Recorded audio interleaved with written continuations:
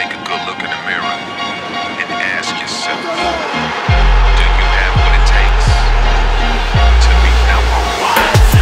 Now is it in you to push yourself to the limit and win it, then defend it to no ending of others coming contenders? Some of them coming for vengeance, some of them coming for business. Are you wanted the ones who one of the